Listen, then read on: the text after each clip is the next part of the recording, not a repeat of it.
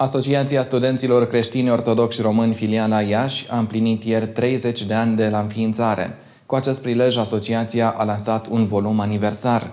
Evenimentul a fost organizat la Muzeul Mitropolitan din Iași. Ascoria și-a organizat ieri o conferință aniversară la care au participat decanul Facultății de Teologie Ortodoxă din Iași, actual și foști membri ai asociației, precum și președintele acesteia. Tot cu acest prilej a avut loc lansarea cărții Ascor Iași la 30 de ani. Volumul a fost publicat la editura Doxologia a Mitropoliei Moldovei și Bucovinei.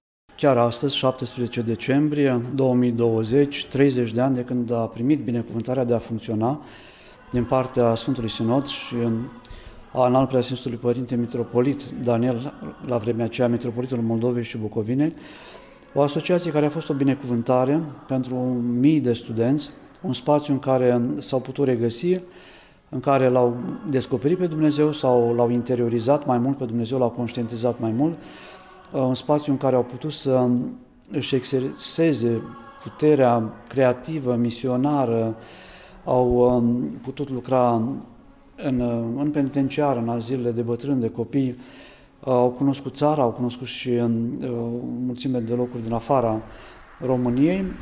A fost o mare prietenie și o binecuvântare. Eu spun că a fost o frumoasă binecuvântare de care au profitat sute și mii de studenți moldoveni în special, și, dar nu numai, care și-au petrecut o parte din uh, viața lor și din studenția lor la Iași, capitala Moldovei. Mă bucur că am fost uh, președintele acestei asociații care are o tradiție de 30 de ani și nu doar o tradiție, ci o implicare în viața bisericii, în viața societății de 30 de ani. Mă bucur de asemenea că am fost timp de 6 ani. La fiecare mandat nu, nu eu am, am dorit să fiu, ci colegii m-au propus, ceilalți din conducere.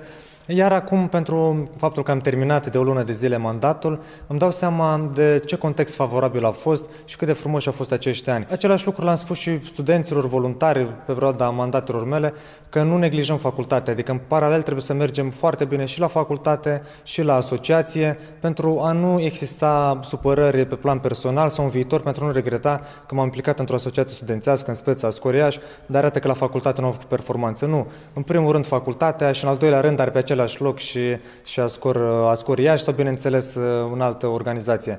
De aceea este o bucurie foarte mare și mai ales pentru faptul că am reușit să, să publicăm o carte uh, care va fi ca un reper uh, pentru noile generații și ca un moment de bucurie și de fiecare dată când vom citi un prilej de bucurie pentru cei care am făcut parte din asociație și care am scris uh, mărturii în carte. Volumul Ascor Iași la 30 de ani poate fi achiziționat începând de anul viitor de la librăriile Doxologia. Lucrarea are un cuvânt înainte scris de înalt preasfințitul părinte Teofan, mitropolitul Moldovei și Bucovinei. Cartea cuprinde texte ale unor personalități care au fost alături de Ascoria și în cei 30 de ani.